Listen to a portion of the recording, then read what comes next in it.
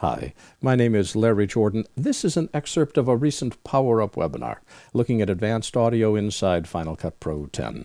In this excerpt, I'll show you how to edit audio at the subframe level. If you notice up here, see that light gray region? That light gray region right where the playhead is located represents the amount of distance that's covered by one frame. In this case, this is a 30th of a second NTSC video. So that's the distance a 30th of a second is. Type Command plus. This is still one frame. Command plus. I'm still in one frame. I'm able to get really, really inside a frame. It's called subframe editing. So I'm going to just move over to here and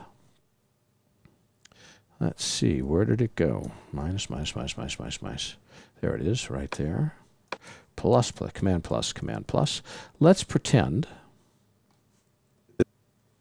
Let's pretend that this spike right here is a pop or a click. It's actually wider than that. So I'm going to hold the, I'm going to select the uh, arrow tool, keyboard shortcuts the letter A, hold the option key down, hold the option key down, and whenever I option click on the volume line, I set keyframes.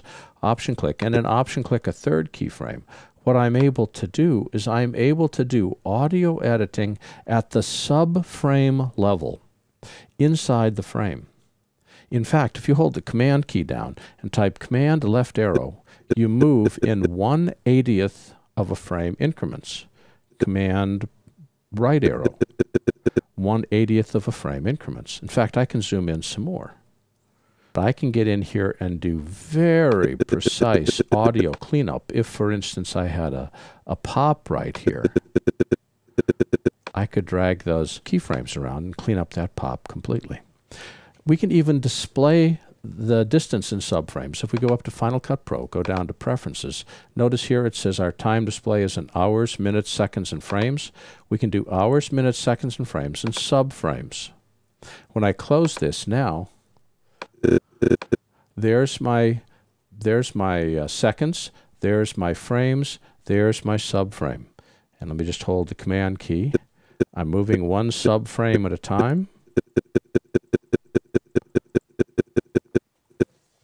And I'll just go back and prove that's gone. 724.21. Preferences, editing, go back to time code, close this. There it is, 724, but we don't see the subframe display. This has been an excerpt of a recent Power Up webinar, taking a look at advanced audio inside Final Cut Pro 10.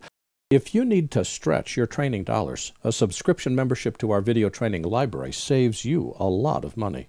Access all of our training videos for a low monthly price of only $19.99.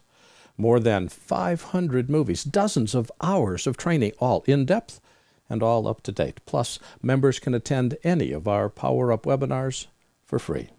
Our training covers both Apple and Adobe software. We update it every week, and for more information, visit larryjordan.biz slash subscriptions.